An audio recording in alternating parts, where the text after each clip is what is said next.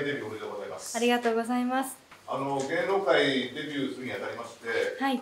お父さんとお母さんは何とおっしゃってましたか？そうですね。と母に関してはあのそこまでやりたいっていうんだったらあの頑張っておいでっていうふうにあの背中を押してくれていましてで父に関してはあの今知らない状態です。知らないでしょあまだ芸能界に入ったってこと自体は知らないってことですか？